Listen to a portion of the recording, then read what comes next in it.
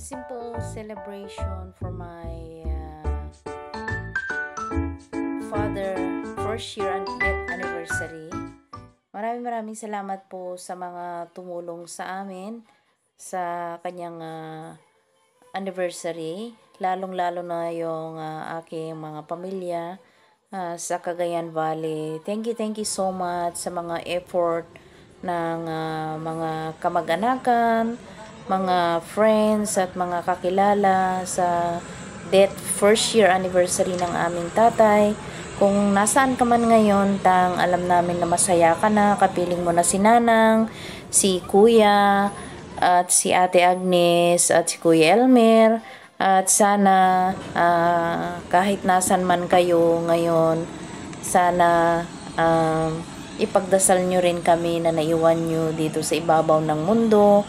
At maraming maraming salamat tang your memories is always remain to us.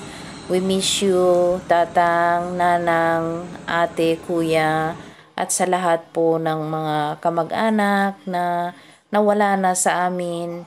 Maraming maraming salamat sa mga uh, binigay niyong ah, buhay sa amin at ah, sana tang ah, alam kong malayo ang iyong mga apo.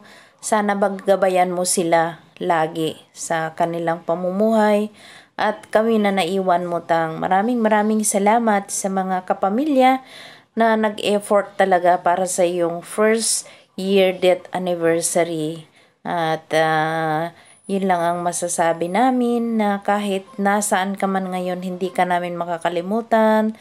Kayo lahat, nila Nanang, especially Nanang, at saka si Kuya Amor, si Ate Agnes, na nawala na sa amin. Malungkot na hindi na tayo buo pero kailangan natin tanggapin na wala na kayo sa amin sa na kapiling namin ngayon. Pero alam naman, alam naman ninyo na kahit nasaan kayo ngayon, hinding hindi kami makakalimot sa inyong lahat.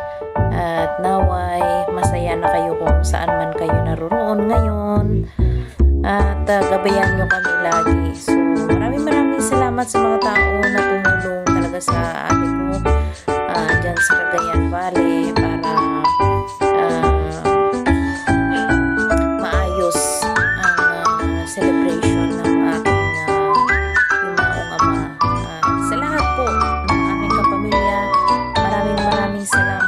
God bless you more. Keep safe guys.